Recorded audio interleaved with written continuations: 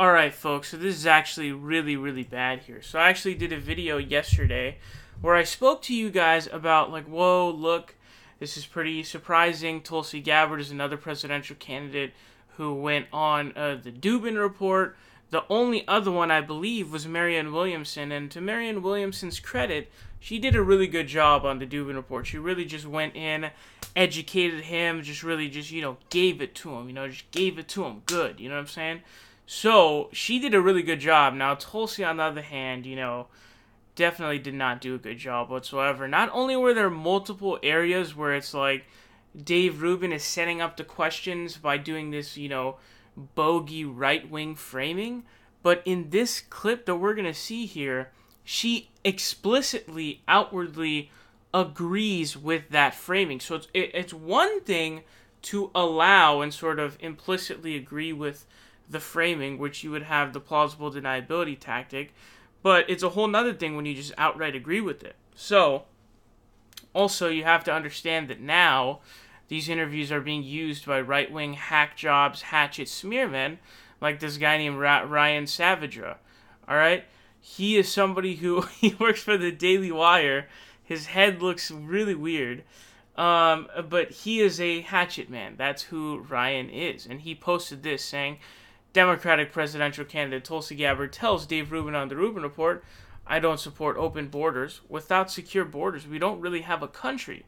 Gabbard admits that what the other Democrat candidates are pushing for, quote, is essentially open borders. Now, this is a very odd comment of course, because the Democrats do not support open borders, and so that claim is very odd because, quite frankly, it's just straight up incorrect.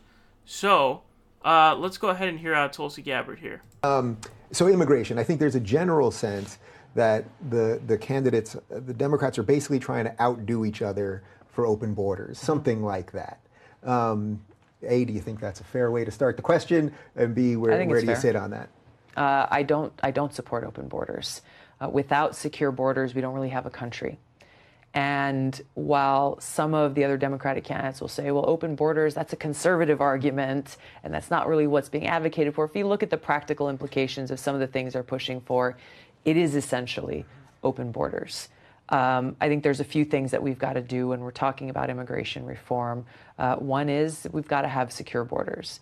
This is not uh, Trump's wall from sea to shining sea. It's about seeing again what makes sense. You know, I look at things from a practical, um, objective-oriented standpoint. I'm a soldier, so I look at what's our objective: secure the borders. In some places, it may make the most sense to have a wall or some kind of physical barrier in place. In other places, it won't make sense. So you use technology and use all the other tools that we have ultimately to accomplish that objective of yeah. security at the Wait, borders. let me pause you there. So, the- so as you see there, throughout the rest of the interview, she was kind of I- implicitly sort of agreeing with the right wing framing of Dave Rubin's questions. In that clip you just saw there, she not only is implicitly doing it where she just allows him to do right wing framing, she outright agrees with the man on his framing, which is completely unacceptable because Democrats are not proposing open borders. And to feed into that right wing myth is really, really stupid. So it's fine to be like a candidate and be like, I- am not for open borders. That's fine. But when you're uh, saying that, yeah, you know, I think that there are some Democrats who are for open borders, there was a lot of both sidesing nonsense from Tulsi in this interview as well, where she was doing a lot of like, oh, there's loonies on the left and there's loonies on the right. Like, come on, both sidesing gets a little nauseating after a while as well. But you just can't do that. You cannot play into a right wing myth like that. And what's funny is the person that she's referring to when she speaks about the whole, uh, you know, uh, oh, I know some candidates like to say that it's a right wing argument. Uh, that's actually Bernie Sanders. Let's check this out.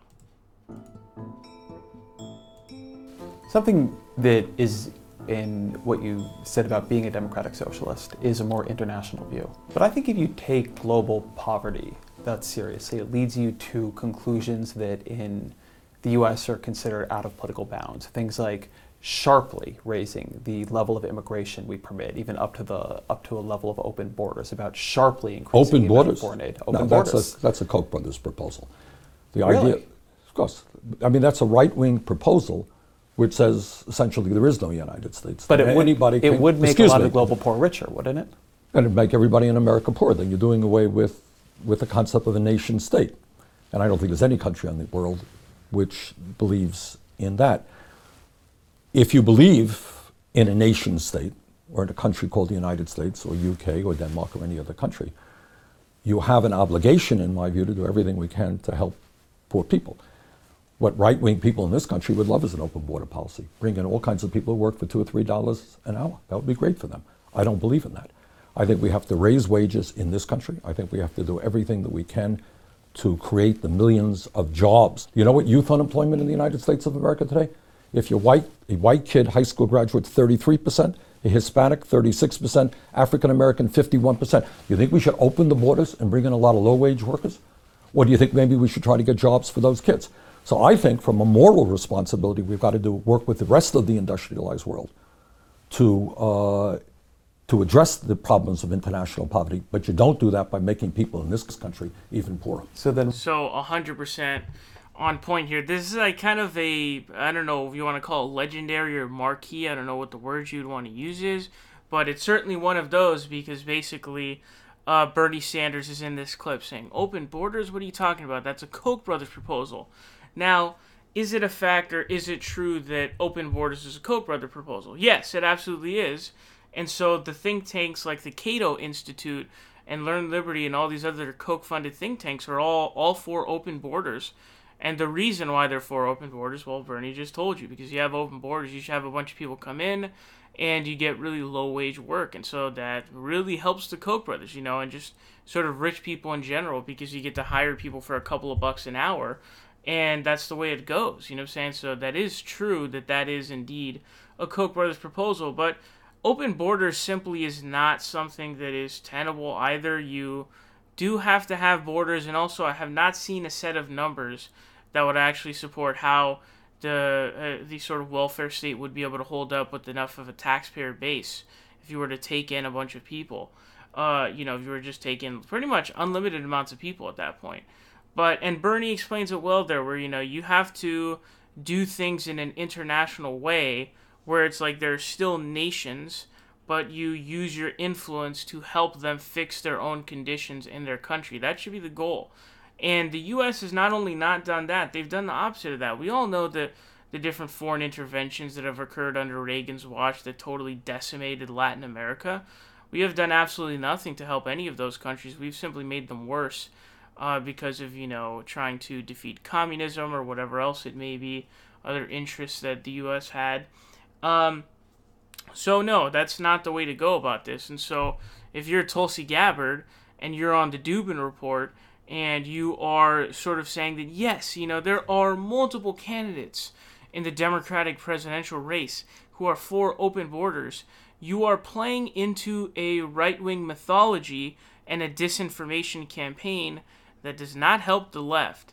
It hurts the left. It helps the right wing because it helps fund their propaganda campaign that, oh, look, these loony lefties want open borders and they want to do that. Like, no, uh, that's not the position that uh, the Democrats hold. It's not even really a tenable position. I don't even know how anybody. So, look, and, and Tulsi outright says there, you know, well, so when she makes that comment about, oh, I know there's a candidate saying that, that's the Bernie comment. That's what, that's literally what she's referencing, which is pretty funny to me.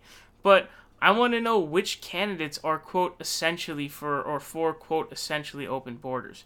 That's what I want to know who she's referring to because I really don't know any of these candidates who are for open borders. I really don't see it. I also have to say that it does seem to be the case that a lot of these sort of mainstream Democrats are not so sincere in their care for uh, just sort of immigrants and things like that and the wall. Because if you go back to like 08, like people like Obama and stuff were really sort of uh, very pro wall and things like that. It was very odd. So their flip does makes me believe that they're not even that honest and genuine about their position on it. And they're just sort of being opportunists or reactionaries to Donald Trump. I don't know which way which way you would like to put that. But um, you know, to make it seem as if it's open border, I mean that's just complete insanity. And so, again, if we're ranking, you know, the appearance between uh, Marianne Williamson and Tulsi Gabbard, Marianne Williamson hit it out of the park. Tulsi Gabbard did horribly. Not only was this a waste of time, she contributed to the right wing misinformation machine, disinformation machine, and she also gave a boost to his platform because any presidential candidate that appears on the Dubin report automatically boosts the sort of, uh, I don't know, the platform, if you will, you know, uh, and the recognition and the credibility of the Dubin report if a presidential candidate shows up on there. So, you know, that is just something that I think is a bad decision. I think that this did not turn out well. I think this was a waste of time. I think all of the things that came from this are negatives. Now, from their point of view, they garner a lot of support from right wingers and a lot of sympathy from right wingers. So I don't know if that's their goal. Ultimately, I think this campaign is sort of a uh, an attempt to get more name recognition, which is understandable, to build up for future runs at higher offices, which is understandable. But this is not good. This is unacceptable, and um, I think this was a huge mistake on Tulsi's part. Although I don't think it was really a mistake on her part because she right there just agreed with the framing. So I just think it was a bad move, and I don't like it.